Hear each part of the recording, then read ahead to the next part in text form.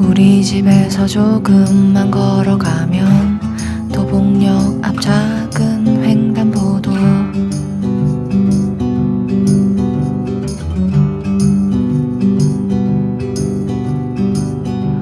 오늘 그 횡단보도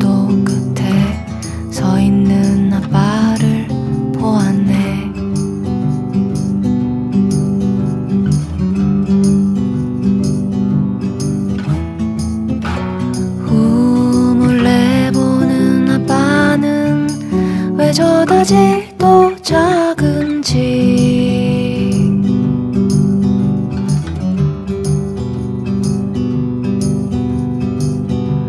일단 손부터 들고 흔든다. 나의 작은 사람에게.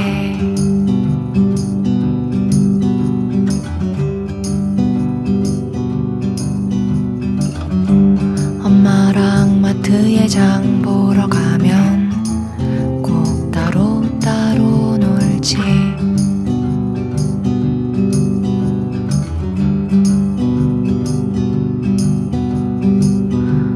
맘대로 돌아다니다 보면